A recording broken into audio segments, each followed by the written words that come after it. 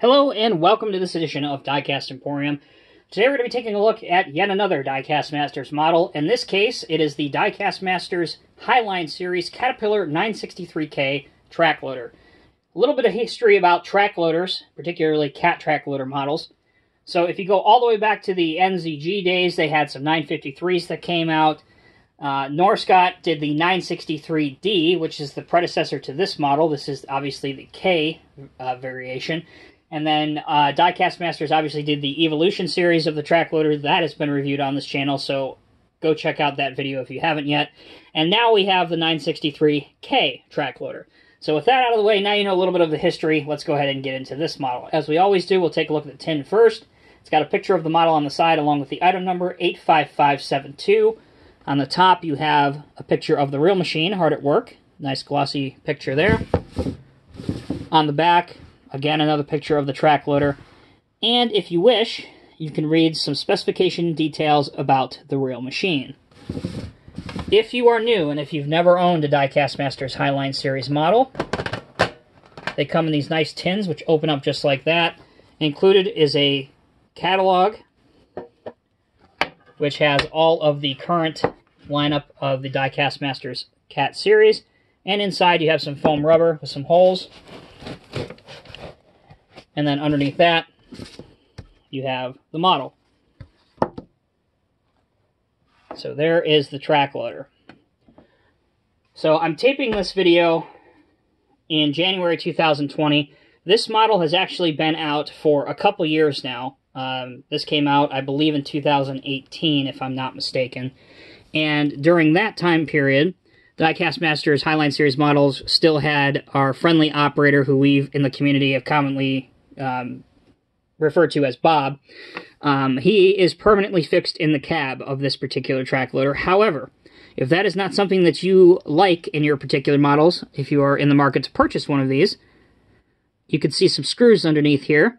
And very carefully, if you wish to take apart your model and remove Bob from the cab, that is an option to you.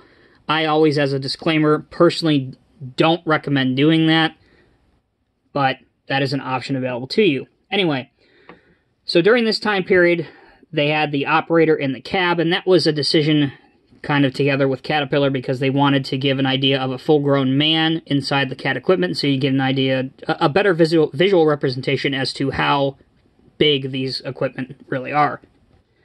So on the back of this track loader, you have a three-shank ripper, which does function. It does go down.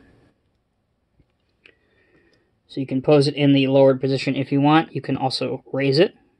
And the cylinders are strong enough to hold it in the out of service position. But the main function of a track loader, of course, is its front bucket. This will raise to a decent height. Here we have a Diecast Masters dump truck here. And as you can see, if both models are on the are on even ground, the cylinders are not high enough to get over the side, but often track loaders will be working on raised ground or benches or shelves as they're commonly referred to. So if you have your diorama or setup like that, this won't be an issue. And also the bucket has a good enough engineering mechanism that it tilts high enough to dump everything out of the bucket. So the dump angle is very, very good. As for some of the smaller details, such as the carry angle. That is also very good. Your cutting teeth. There are eight on this particular bucket. Your tracks are metal, and they will roll freely on any surface with tension as long as you push down, forward or backwards. You saw a brief shot underneath earlier as I was describing the screws, but here you can see the track pad detail on each of the different track shoes. And also the bucket detail underneath. So there you go, guys. That is a very quick synopsis and review of the Diecast Masters Caterpillar 963K track loader in 1 to 50 scale. There are not that many track loaders available currently in 150th scale. I went over a brief history of most of them that are out there.